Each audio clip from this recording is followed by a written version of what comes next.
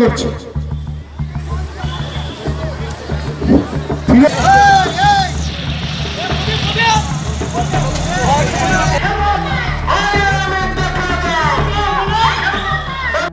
গতকাল গেছে দেশনায়ক বাংলার বীর সন্তান নেতাজি সুভাষচন্দ্র বসুর একশো পঁচিশতম জন্মজয়ন্তী। বাঁকুড়ার মাটিতে নতুনভাবে দেখলাম, বিজেপি ও তৃণমূল একসঙ্গে উদযাপন করছে বাংলার বীর সন্তান নেতাজি সুভাষচন্দ্র বসুর জন্মজয়ন্তী। সুভাষচন্দ্র বসুর একশো পঁচিশতম জন্মজয়ন্তী উদযাপনের লক্ষ্যে এক বাইক র্যালির আয়োজন করে মেজিয়া মণ্ডল যুব মোর্চার সদস্যরা। বিজেপির যুব মোর্চার সদস্যরা শ্যামাপুরের দলীয় কার্যালয় থেকে প্রায় শতাধিক বাইক একত্রিত হয়ে দলীয় ঝান্ডার সাথে নিয়ে পরিক্রমা করে গোটা মেজিয়া এলাকা।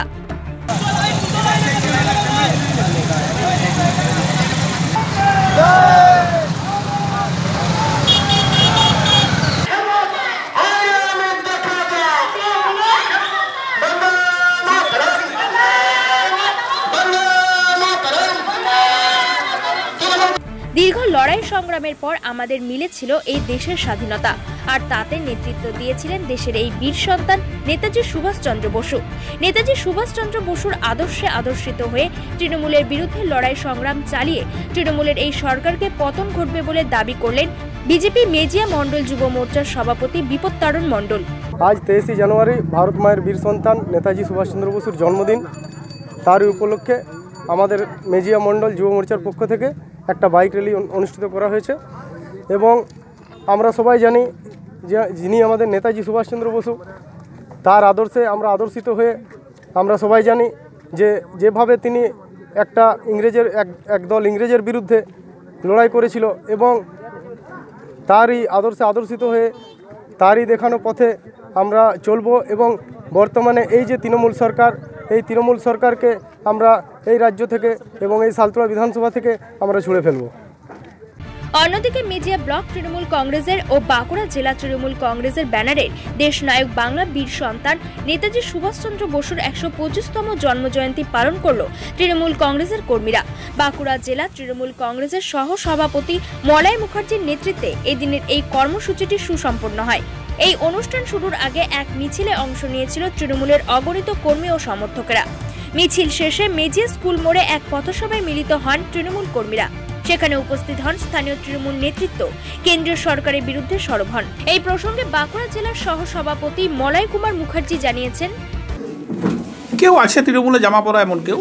যারা মানে চায় না যে তৃণমূল কংগ্রেসের বড় মিছিল হোক বা তৃণমূল কংগ্রেসের ভালো অনুষ্ঠান হোক সেই সমস্ত সেই সমস্ত লোকেরা। না না গোষ্ঠীদ্বন্দ্ব নয়। কিছু এমনি সমাজে অ্যান্টি সোশ্যাল লোক আছে মেজিয়ায় যারা চায় না যে মলয় মুখার্জির নেতৃত্বে একটা ভালো মিছিল হোক মানুষ সেখানে জমায়েত হোক মানুষ উপকৃত হোক সেটা তারা চায় না তারাই জিজ্ঞাসা করে। কেন আপনি তো তৃণমূলের পতাকা তলে সে মিছিল হবে তাহলে সেক্ষেত্রে তো সমস্যা না তারা তো তৃণমূল অ্যাকচুয়ালি নয় তৃণমূলে জামা পরে থাকা লোক।